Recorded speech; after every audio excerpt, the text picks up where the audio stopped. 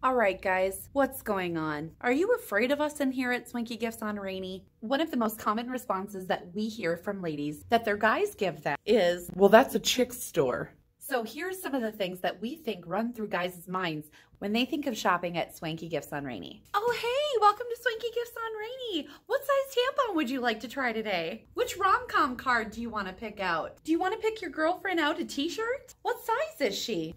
Loaded question. You better pick the right one. Hey, welcome to Swanky Gifts on Rainy. Do you want to try some of our perfume? Guys, none of those things are going to happen if you come shop at Swanky Gifts on Rainy. Here's the kind of stuff that was handpicked with you in mind. Golf tee markers, drinkware like classic golfer's flasks, or Army Men bottle openers. How much more manlier can you get than that?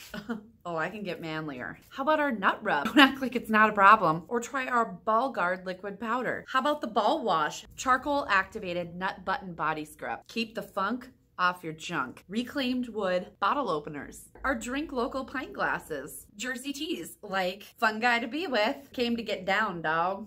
Rolling with my homies. Heard that. Can't get much more manly than mansplaining mints. Not to mention our entire wall of cards that are perfect for any occasion, especially getting you out of the doghouse. And get your butts in here and shop Swanky Gifts on Rainy. Because the number one thing that we don't want to hear anymore Is Swanky Gifts on Rainy? That's a chick store. no, no, it's not. And we'll hope to see you soon.